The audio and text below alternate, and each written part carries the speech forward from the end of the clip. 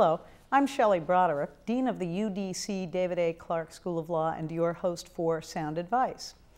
The school to prison pipeline is a disturbing trend. Increasingly, school administrators are funneling children out of public schools and into the juvenile delinquency and adult criminal justice systems.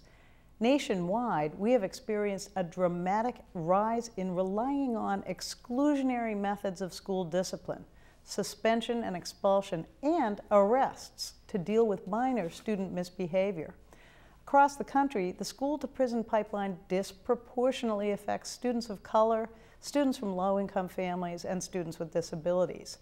In DC, we know that more than 15,000 students are suspended from school for at least one day, and many of the students are suspended for a much longer period. But suspensions and expulsions do not make students safer. In fact, studies have shown that excluding students from school leads to more misbehavior, truancy, failing grades, and involvement with the juvenile delinquency system.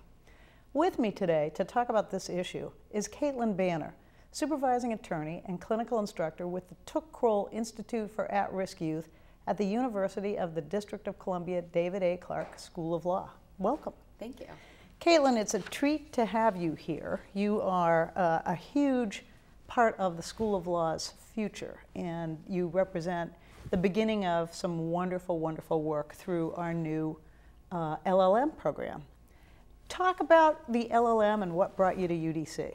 Great. Well, um, I was really excited when I heard about UDC's new LLM program. It's a program for experienced practitioners in various areas of law um, to really experience um, a new opportunity to think about how to change the systems in which we work and how to um, progressively help the clients that we've been working with for a number of years, while at the same time having a great opportunity to work with the students here at UDC and to train them to be the next generation of public interest lawyers. So. Ooh, music to my ears. it doesn't get better than that. So the LLM is actually in cl uh, clinical legal education, social justice, and systems change. That's right. And when you came for this two-year program at UDC, um, you brought a very special system, systems change project um, that I first heard about uh, when you were working at the ACLU. That's right. For two years before I came to UDC, I was an Equal Justice Works Fellow sponsored by the Crowell and Moring Law Firm. Uh, working on issues of school discipline and school exclusion. And so while at the ACLU, we started a project to represent families in the District of Columbia who were facing suspension or expulsion from school. And um, at the ACLU, I realized that this um, problem and this issue was so much bigger than just what I could do at the ACLU. So I was really excited to join forces with the Juvenile and Special Education Clinic here at UDC in order to um, increase our capacity and increase our availability to address this problem. So then another piece of magic happened, um, and that was had a sad beginning in in uh, the passing of the legendary Took Crowell, um, a great lawyer from Crowell and Moring. Uh, but folks at the law firm wanted to carry on his legacy. He had a great interest and passion for juvenile justice, um, and the firm decided to fund the establishment of the Took Crowell Institute for At-Risk Youth at UDC, and you're our very first Crowell and Moring Took Crowell Fellow. Exactly, and it's great to be here, and it's great to be part of that legacy and part of carrying that on. Um, it's been uh, I've been here for about a year now, so it's been really exciting to to uh, put put that into action and to be part of the founding of the institute here. So the founding of the institute and the founding of the LLM, boy, oh Indeed. boy, how cool is that? Doesn't get better. So, so Kaitlin, um, you know, when I was in high school, I was occasionally truant because I hate algebra trig. I found a lot of it kind of boring, and from time to time, I snuck on out. Um, I was never caught. It seems to good me, you. you're saying I'm sneaky, I think. We're particularly good and sneaky, but it, I'm guilty. What can I say? So, what happens today is that we catch truants um, and then we punish them by kicking them out of school, which strikes me as a former truant myself as like, yay, the perfect solution. You're going to kick me out of school? How is that yeah. the right thing to do? I think your questions are exactly right. And I want to start by saying, you know, I think your experience in school is common to most people. And I think that I would be shocked if most of the viewers and most of their friends and family didn't have some experience in school where they skipped a class, where they were truant, where there was an incident of misbehavior. It's typical youth development. Um, teenage behavior is a time to test boundaries, to push back on authority, to really self-identify. So you've way. met my daughter. and has, every other teenager. Right. And, and who, as my Aunt Kitsy would say, didn't lick it up off the grass.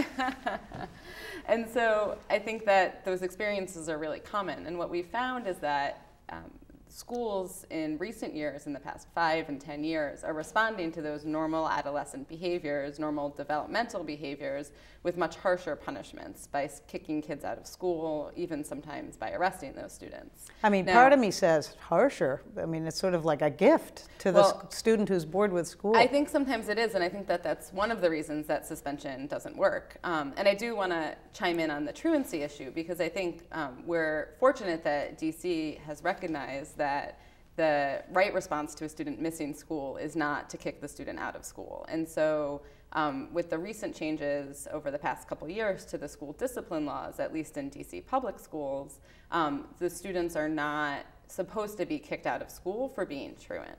Um, unfortunately, what still happens in the district is that students can be referred to court if they've been truant for a number of days. And so when students are building up their absences, and right now the law is at 25 absences, um, students are uh, referred to court for an intake and potentially for probation or for another program uh, through the court system. So, so, but if you're caught being truant now, mm-hmm. they don't arrest you right away. They don't send you to. They don't expel you. What do they do when you're truant for some short period of time?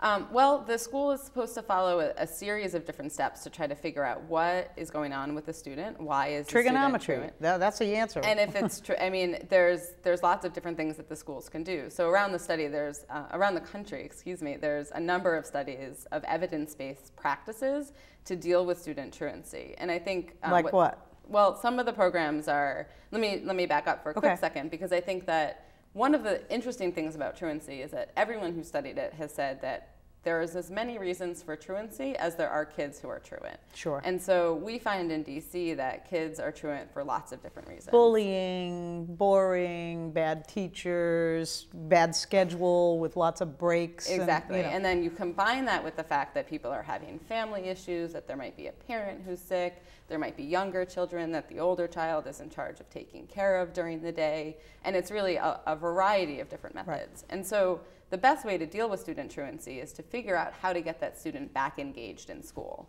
And so that um, uh, what best practices show are that either giving that student an adult monitor, uh, there's a program called Check and Connect, um, who can help that student check in, check out of school, deal with any problems that are coming up, sort of be the point person to um, keep an eye on that student for that student to build a relationship with. So is this a volunteer mentor? Is this somebody who works at, in the guidance counseling yeah. office I, or what? Ideally, it's somebody who's trained to deal with adolescents, who's uh, maybe has a social work background. It's not a program that's being implemented in DC right now. Um, it's a program I'm not remembering exactly where it's from, but yeah. um, it's it's uh, a but program that's that's worked, that has evidence, that has studies shown. So there are better ways to be dealing, and I think that that's one of um, one of the things that I really want to talk about today is that um, we know from a number of different studies that suspension and expulsion and arresting students does not get the results that we want, and um, you can tell that because students who get suspended are much likely to keep getting suspended in the future. It's well, not they get stopping suspended, the behavior. and then they get kicked out, and then they think, you know, actually, then they get other mentors uh, while they're out of school. Mm-hmm. They get other mentors. You know, they yeah. can earn some money you know, with the drug dealer on the corner. And, and that happens too. And in fact, you know, uh, across the country, people have found that the safest place for kids to be is in school. Sure. We also know that if students are missing large periods of time from school, whether it's because they're truant or because it's suspension or expulsion, that they're falling behind in their classes, that they're not necessarily catching up with their work, um, that school becomes uh, harder, um, becomes maybe feels a little bit pointless, and it, it increases what we like to call the school pushout phenomenon. And I say that instead of school dropout phenomenon because what we've seen is that the policies and practices in our schools are forcing students, are pushing students out the door, um, forcing them in some ways not to become engaged in school because hmm. school just isn't working for them. And you then know, those students, yeah, they end up not graduating, falling behind by a number of years, not on the four or five year graduation plan. Right. I, you know, you can't miss a couple of weeks of Spanish class. You can't miss a couple of weeks of, you know, uh, European history mm-hmm. or, or trigonometry or geometry. You can't, you just, you know, you get sick and you get the flu, and it is really the most engaged parents forcing you to do your homework and mm-hmm. keeping, you know, keeping you in and making sure that you're really paying attention to, to ever catch up. Mm-hmm. And that's, that's just a crazy notion in high school that you can that you can be out for some significant period of time and catch up. Yeah, it's it's increasingly hard, I think, as we are raising the standards and raising um, the the type of education we're giving our student, which is a great thing, but it's really hard for students to be able to come back from that long of an absence and re-engage with school and re-engage with the classwork. And so we've seen students really struggle to catch up. And you know a suspension for them means that they're going to be left back a grade or they're going to be left back at least a semester and right. not be with their age level peers. So talk to me about the phrase uh, prison to pipe, uh, uh, school to prison pipeline so, school to prison pipeline is a phrase that um, has been devised and used by civil rights advocates all over the country. And it's a phrase that refers to the process of moving kids and funneling kids out of schools and into the juvenile system, into the criminal justice system. Um, that happens in a lot of different ways. Um, it happens through zero tolerance policies. Like what? So, zero tolerance policies say that when a student misbehaves, they're automatically going to be arrested or expelled from school. And there's been a lot of um, examples recently in the news of some of sort of the bizarre implications of the zero tolerance policies. Give me an example. So an example that, that came down um, not too long ago was a, a four-year-old who brought into school, or maybe he was a little bit older than four, maybe seven, I'm, trying to remember, but he brought into school a Boy Scout tool. And that tool? Boy Scout tool, yeah, it was a, a knife, fork, spoon combination for camping. Um, I had one for many, many years. Indeed. Carried it in, in my childhood in South Freeport, Maine. It was um, really good for any number of things. You could use it to eat your school lunch, and he was he brought it in for show and tell. Um, and the school had a zero tolerance policy against knives, um, and so the student. Uh, the school is constrained in their authority to do anything but to call the police or to expel that student. And so we find that they cause harsh overreactions by school administrators to, um, to instances where administrators and school staff should be uh, using their discretion. You know, it's the girl who has cramps who has Advil. No exactly. drugs in it, school. Exactly. You're kicked out. Ridiculous. And and we see that it has really bad effects on students because students lose trust in the process and lose trust in the administrators and the staff at the school because everybody knows that it's unreasonable it's and silly. that it's not making sense. And students, you know, teenagers have a very keen sense of justice and kids have a very keen sense of justice. You've met my daughter. yes. Uh, and they understand when something doesn't make sense, and they understand uh, if they feel like the policy doesn't allow them to take into account, for example, if it's a student's first offense, if there's an innocent explanation behind it, um, things like that. So that's one way in which students are sort of kicked out of school. Um, I think another way that, that we need to address and we need to be thinking about as we're thinking about the school to prison pipeline um, is that our schools look so much more like prisons these days. Um, Have you um, noticed that? And we've got metal detectors at all of the entryways, and we have a lot of police that are staffed in the schools. And I have nothing against the police in any way. They're keeping, they're there to keep the students safe. Um, the increase of police officers in school um, came after high profile incidents like Columbine and the Virginia Tech problem. But what studies have found is that those police officers aren't necessarily given the opportunity to do their job. And what happens is that the schools are using the police officers, or the police officers are becoming um, uh, disciplinarians in the school. They're becoming the ones who are enforcing whether or not students are in the hallways, who's wearing a hat, who's having an argument, who's being disrespectful. Who should be doing that? It should be the school staff. It should be deans of students, guidance counselors, social workers who can address the problem, who are trained to deal with juveniles and or just teachers. Or just teachers. In my indeed. day, the principal, you know, marched around and you, of course, all girls private Catholic school. We were very well behaved. we were extremely disciplined, yes. Um, and what that means, though, is that the police officers who are stationed theoretically on um, school campuses to deal with much bigger issues, to be hearing about if there's weapons being brought to school, to be um, investigating uh, claims of drugs, some real serious um, school issues, school safety issues. They don't have the ability to do that because they're spending all of their time being disciplinarians. And it also results in students getting arrested for incidents that happen in school that they would have never gotten arrested right. for had the police not been there. You've all, you can just imagine how these incidents escalate and other kids are around and just to quiet things down and get people back to class, an arrest happens. Right. And now you're there, you're in that place and moving down a road that's not a good road. Exactly, exactly. And across the country as well, we've seen a huge increase in student arrests in school. And like we talked about earlier, or you talked about earlier, it's disproportionately happening in low income areas, in areas where there's um, concentrations of students, students of color, in urban areas, and it's really problematic. And it's kids with disabilities, meaning kids primarily with special education needs? Exactly. So already you're struggling in school um, because you, it's hard to focus uh, you might be a slow learner and it's going too fast exactly. for you. There are all kinds of those issues already. Mm-hmm. And now, yeah, okay. Yeah, and it's, you know, the, the law regarding students with disabilities, in, in large part, was created to address this problem. Um, the Individuals with Disabilities in Education Act, or the IDEA, is the law that protects students with disabilities in, in education, in kindergarten through 12th grade education.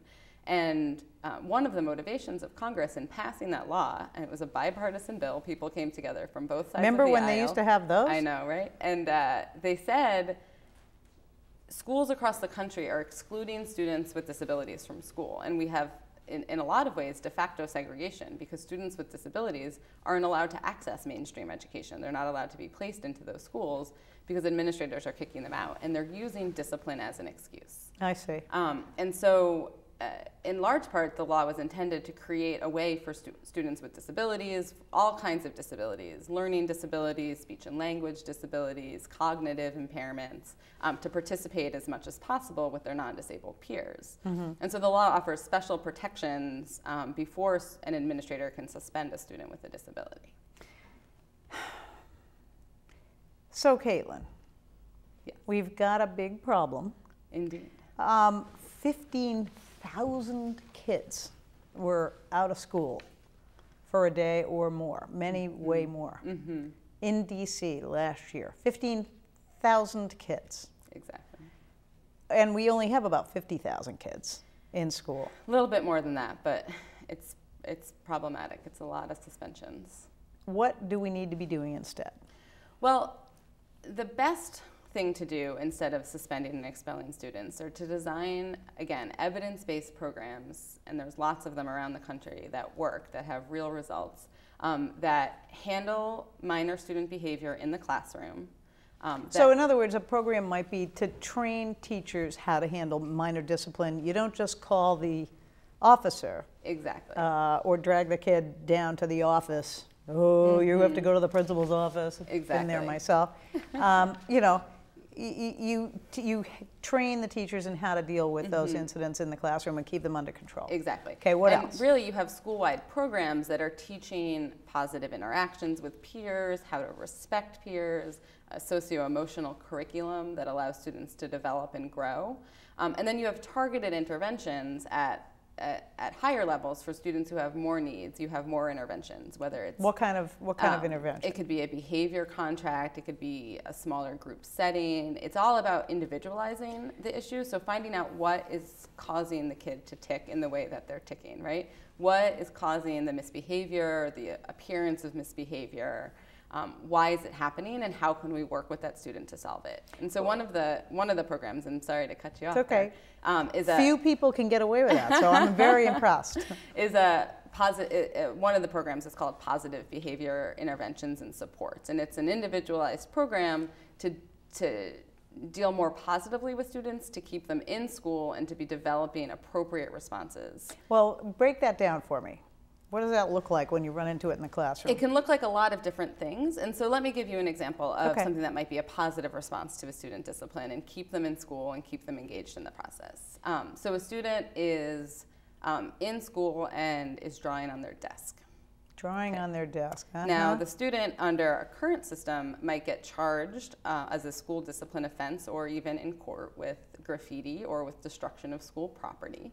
Um, they can be suspended for up to 90 days. Three um, months. Three Uh-huh. months. Oh, that's a good idea. Because it's school days now, so that's 18 weeks of school. Um, they can be arrested for that. They can be put into the juvenile justice system. Another approach would be to have that student participate in a community service program in the school. Cleaning the Cleaning the desk. desk, doing some other community service instead of the proposed suspension or expulsion.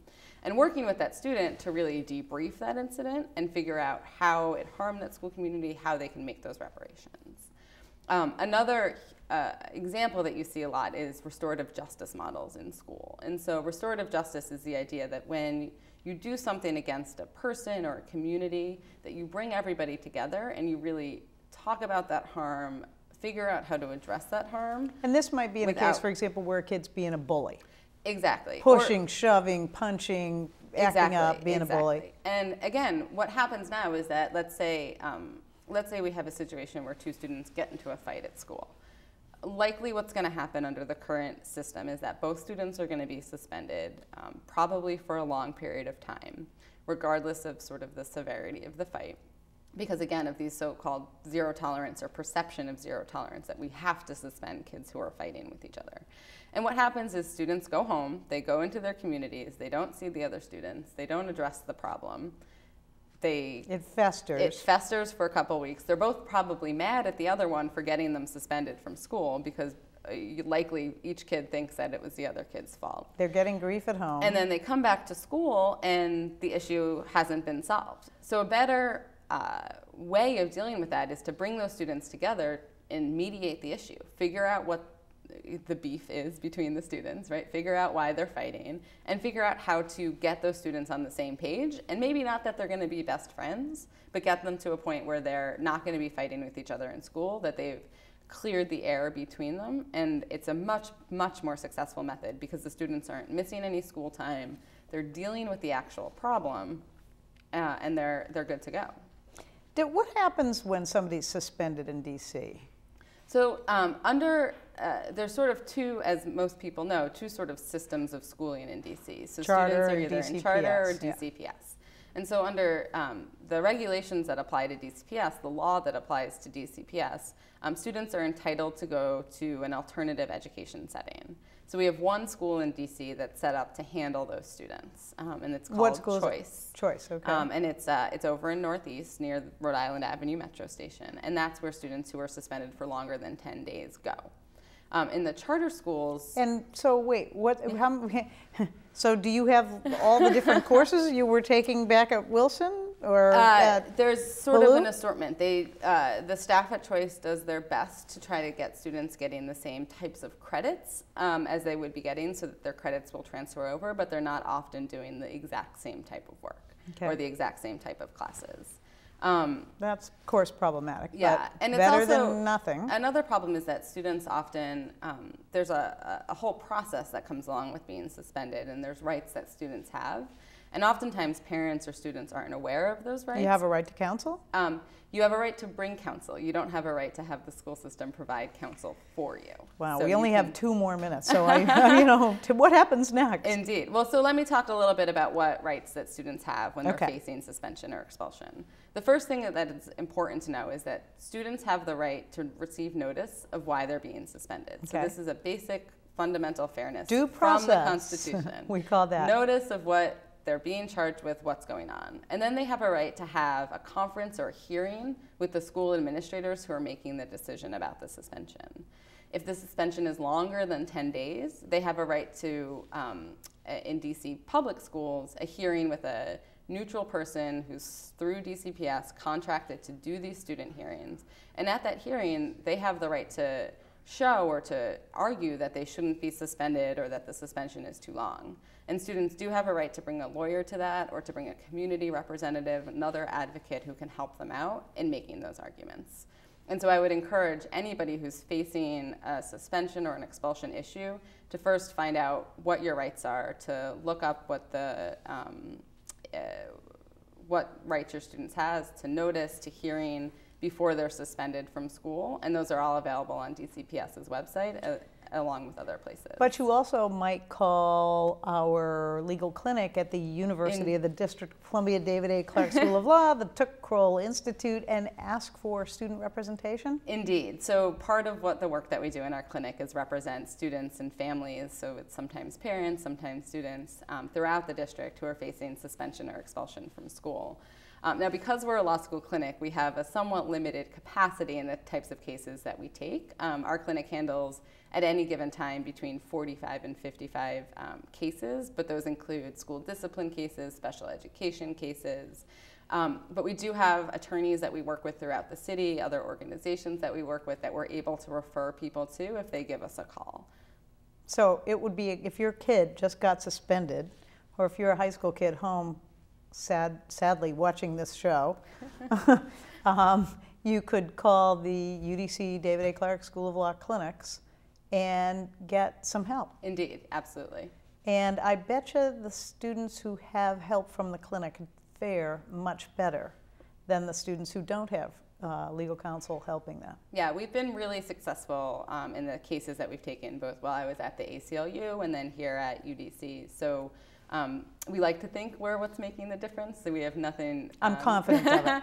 One last show, minute. What's what's your last parting word? Well, I think my last parting word is that you know, uh, suspension and expulsion has been the de facto punishment for school misbehavior and school issues for years and years and years, and it comes to pass that there's actually no evidence to show that it works and that in fact not only does it not work but that it's harming students. So students who are suspended and expelled are more likely to drop out of school, more likely to fall behind, they're more likely to get suspended again in the future, more likely to um, be involved with the juvenile or criminal justice systems or injustice systems, as I sometimes say. Not and a so, good thing. not a good thing. And so um, we encourage parents and students to push back against those suspensions and expulsions with the school district to exercise their rights um, but also to encourage the school system to adopt evidence-based practices of dealing with student behavior. Next time. if you face similar issues, such as those discussed on this show, or if you would like more information about the Took Crowell Institute for At-Risk Youth, please give them a call at 202-274-5073. I'm Shelley Broderick. Thanks for watching, and please join us next time for more sound advice.